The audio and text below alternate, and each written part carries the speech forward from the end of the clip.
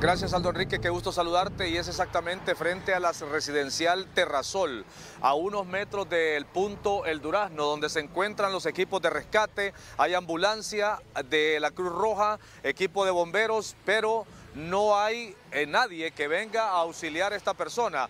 Y el punto del Durazno, donde está una ambulancia de Cruz Roja, está a menos de dos minutos de donde se encuentra esta colisión que ha dejado lamentablemente a esta persona herida porque hay una motocicleta involucrada y también un vehículo turismo exactamente frente a la entrada de Terrasol. Los amigos de Copeco, estamos a dos minutos del Durazno, ¿hay una ambulancia ahí?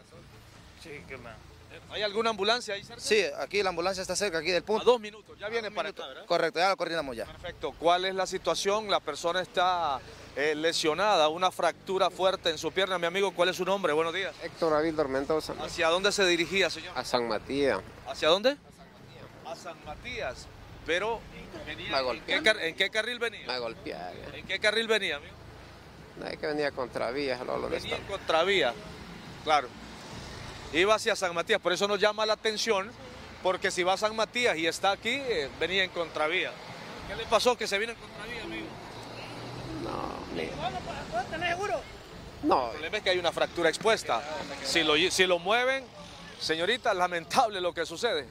El señor está confeso, en contravía se venía. Sí, sí. Usted va a su rumbo a su trabajo, sale de aquí de Terrasol.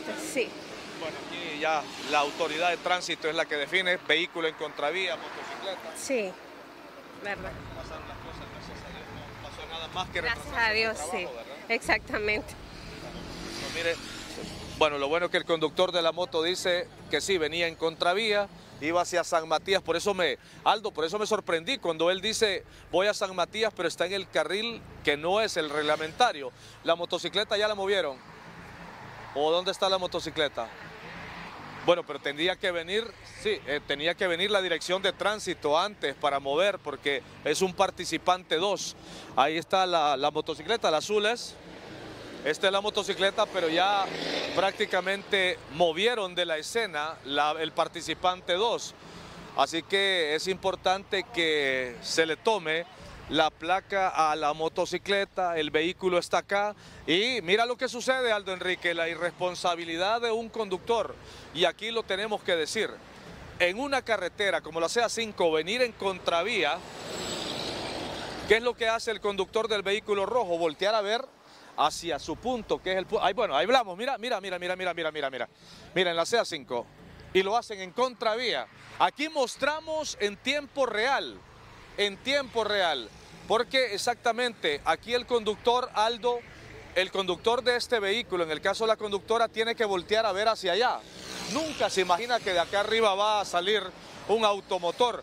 Ya la Dirección Nacional de Tránsito tiene que venir hasta este sector.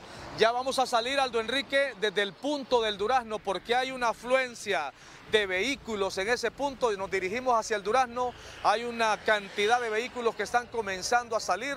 Ya hay dispositivos especiales, lo que deja este accidente en este punto. Conductor de motocicleta en contravía impactó contra el vehículo y movieron la escena. La motocicleta está movida.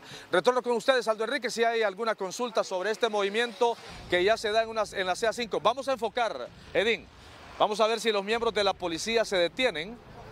Vamos a ver si se detiene la patrulla para poder ayudar o apoyar. Mira, ahí van. No se fijaron en el accidente. Lo que está sucediendo, Aldo Enrique, comenzando hoy miércoles de feriado morazánico, este accidente que se da aquí. Aldo Enrique, buenos días. Bien, buenos días, Francisco Zúñiga. Podemos observar que sí, eh, eh, hay muchas personas que eh, deciden, deciden irse al interior del país. Hay muchos que desde ayer ya comenzaron el feriado de la semana morazánica.